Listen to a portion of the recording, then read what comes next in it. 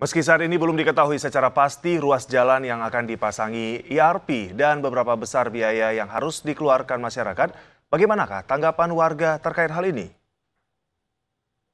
Sisi positif negatifnya.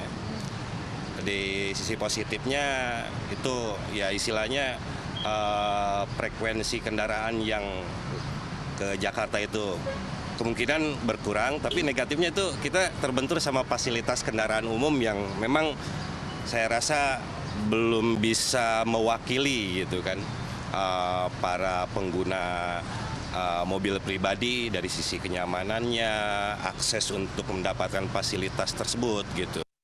Kalau saya sebagai pengguna, pengguna jalan ya keberatan. Karena kan kita jadi nambah biaya lagi. Harus harusnya sekian nambah lagi biaya kan etol juga kita bayar kan. Nah itu saya keberatan untuk saya pribadi. Pak, biar bisa ngurangin kemacetan di Jakarta. Setuju, asal untuk kepentingan publik dan demi kelancaran. Hmm. Ada masukan Pak terkait dengan program ini? Eh, gate dikurangi, gerbang tol dikurangi, ya kan? Walaupun mahal, itu jadi tidak ada penumpukan. Gimana Pak tanggapan? Saya nggak setuju. Nggak setuju. Masukannya gimana Pak kepada pemerintah Pak?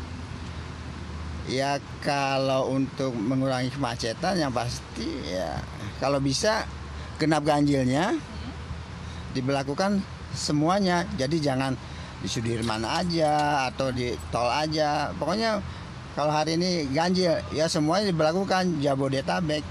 Mungkin ya mungkin itu bisa mengurangi. Tapi kalau cuma satu wilayah ini ini tetap aja.